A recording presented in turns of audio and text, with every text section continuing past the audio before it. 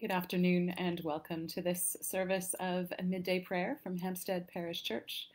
It is always good to be able to pray together, to worship together, and rest in God's peaceful presence together. We begin this service by listening to our church bell.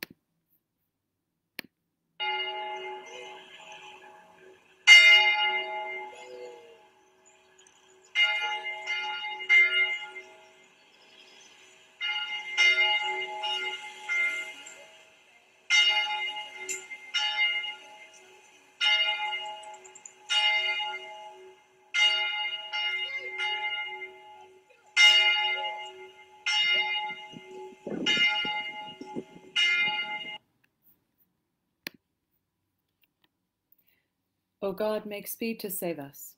O Lord, make haste to help us. Let the words of my mouth and the meditation of my heart be acceptable in your sight, O Lord, my strength and my Redeemer. I bind unto myself today the strong name of the Trinity, by invocation of the same, the three in one and one in three, of whom all nature hath creation, eternal Father, Spirit, Word, Praise to the Lord of my salvation. Salvation is of Christ the Lord. Psalm 126. When the Lord restored the fortunes of Zion, then we were like those who dream. Then our mouth was filled with laughter, and our tongue with songs of joy. Then said they among the nations, The Lord has done great things for them. The Lord has indeed done great things for us, and therefore we rejoiced. Restore again our fortunes, O Lord. As the river beds of the desert, those who sow in tears shall reap with songs of joy. Those who go out weeping, bearing the seed, will come back with shouts of joy, bearing their sheaves with them.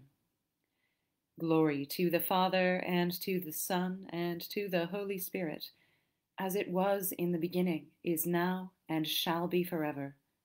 Amen. A reading from the Gospel of Matthew. Jesus said, Come to me, all you that are weary and are carrying heavy burdens, and I will give you rest.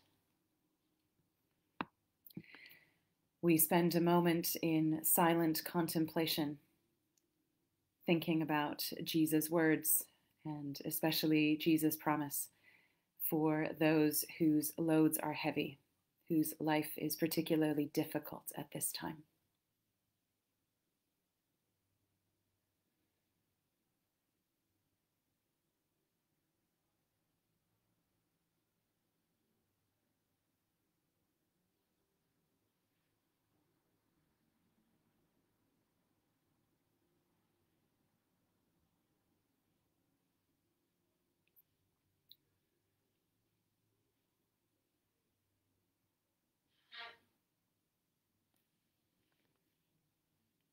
Jesus said, I am the true vine. My Father is glorified by this, that you bear much fruit.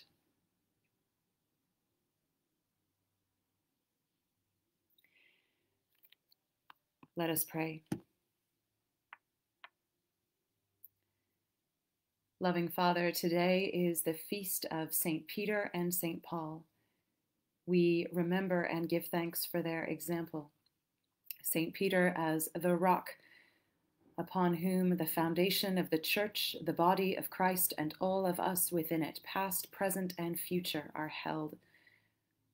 St. Paul as an evangelist, an, an apostle untimely born, whose profound conversion from one way of being and persecuting into another way of proclaiming the truth of Christ as hope light, salvation, and redemption.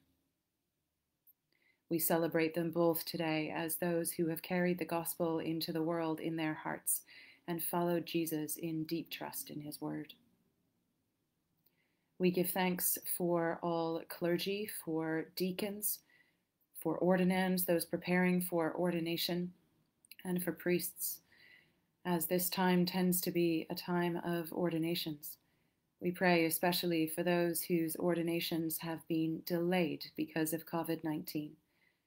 We pray for all who have been licensed as lay workers in their parishes, that they may serve, that they may learn and grow, and that they may anticipate entering into holy orders and serving your church all the more. Lord, in your mercy, hear our prayer. As government guidance has been released and the House of Bishops and our diocesan bishop deliberate together about how best to discern a way forward.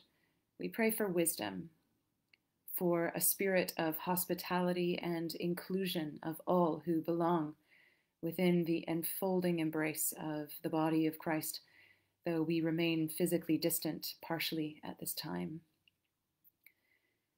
We pray in our own community for all who are volunteering to worship in our church in private prayer to make that possible for people, those who clean, those who volunteer.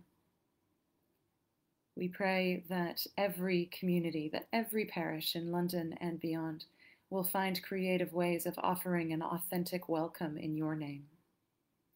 Lord, in your mercy, hear our prayer. We pray for any who are struggling today, for those who are sick in body, mind, or spirit, for all who look after them, for those who are carers, who support and who engage in work in and around the NHS. We pray too for those who are dying, who are close to the end of their lives, and for all who have died recently and those who are mourning and bereaved. Loving Father, comfort the grieving. Lord, in your mercy, hear our prayer.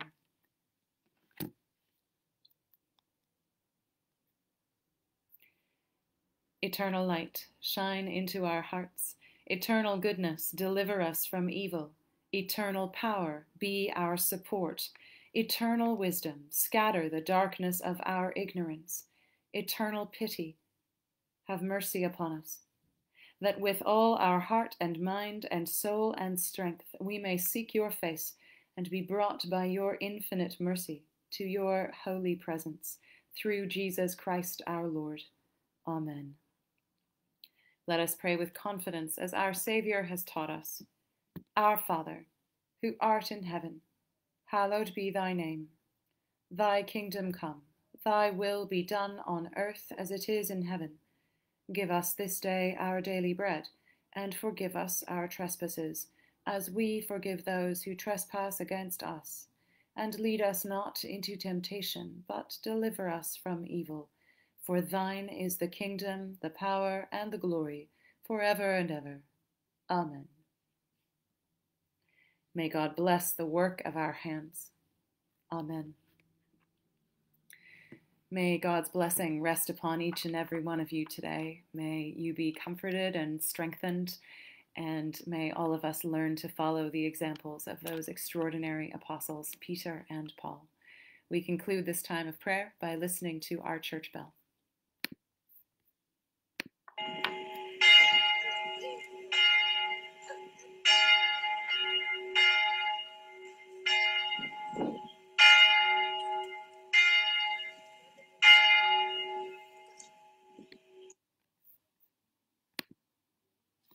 Bye bye. Have a good day.